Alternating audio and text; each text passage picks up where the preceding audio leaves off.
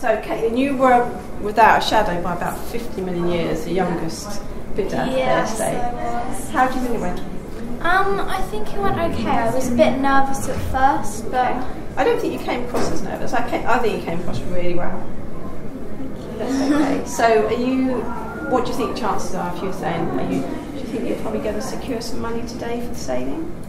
well, I hope so. I really want to because it will be really nice to be able to have um, the, all the help on the um, day.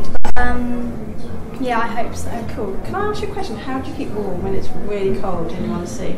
Well, um, I when I when what I do in the morning before I go sailing is I look at because we've got a really big tree in our back garden. Okay. So I look at the top of the tree and see how windy it is. Okay. And um, if it's like hardly moving, I'll probably and if it looks like quite a sunny day, I'll probably just wear um, like my swimsuit. Um, my rash vest, some uh, waterproof shorts, like swimming shorts, and my water shoes, and my gloves, and you know.